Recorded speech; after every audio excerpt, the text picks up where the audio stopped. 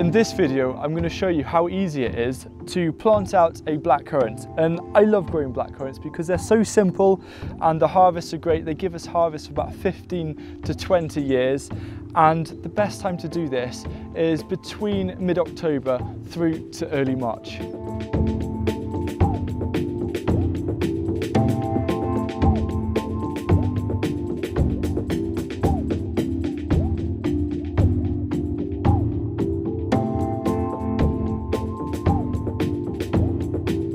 The first step is to choose a place to grow it. So try and choose somewhere sheltered and gets at least four hours of sun every single day.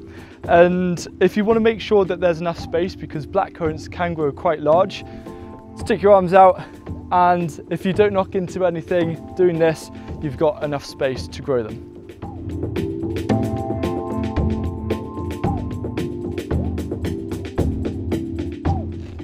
I always enjoy digging a hole and you kind of want to dig a hole roughly twice the size or twice as wide as the pot just so it has plenty of root space to begin with and it's great because I know that this was just grass but to me I'm going to be growing something a little bit more exciting.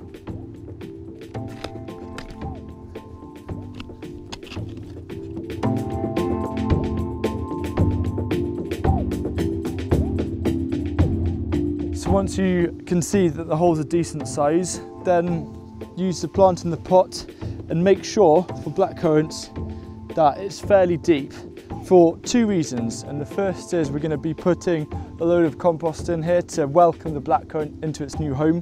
But also with blackcurrants, you want to grow them kind of like a crown. So if you think of my hand being the surface of the ground, you want all of the shoots coming from underneath, unlike a tree where you have more of a stem like a goblet shape.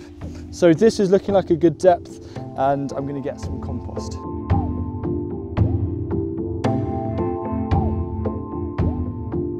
You now want to add a generous helping of compost to the hole because remember compost is like food for us humans but food for the plants.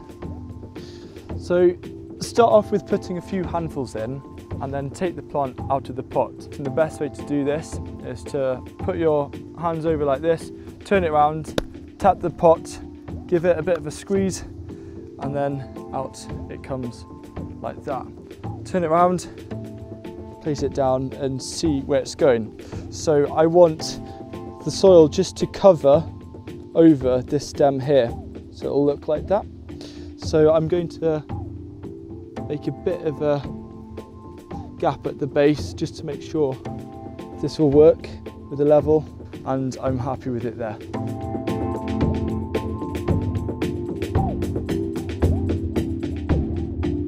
And now using the soil from the original hole, fill the gaps around the side of the blackcurrant just so it can be secured back in place. And something great about transplanting when things are dormant like this is that usually the ground is very wet so you don't need to water it. However, if your ground is dry, make sure you do give it a good soaking.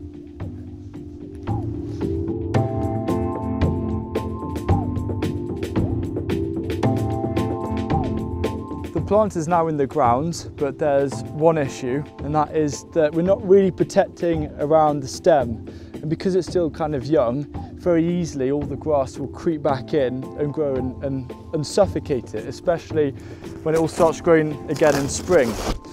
So what you can do is use bits of cardboard like this as a weed suppressor and place it around the plant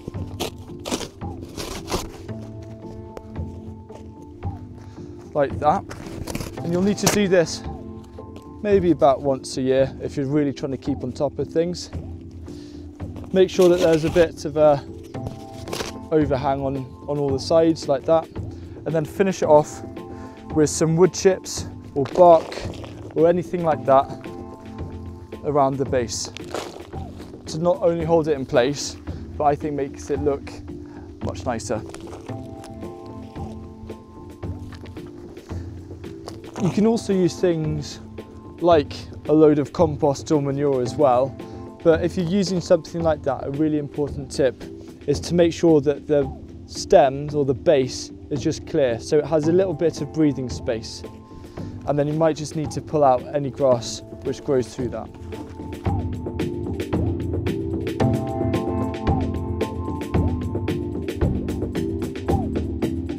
Now I bet you're just expecting me to tell you that that's it, you can leave it, but no, you've got to give it a bit of a prune. And I know this seems crazy, but it's worth it. And let me tell you why.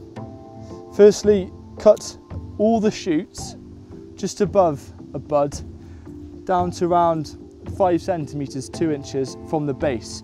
And I know it's not going to leave you with much of a plant, but next year it's going to promote really vigorous growth and send up loads and loads of new stems. And in around two years time, you're going to have a really nice and mature blackcurrant. And one day your blackcurrant bushes will look like this.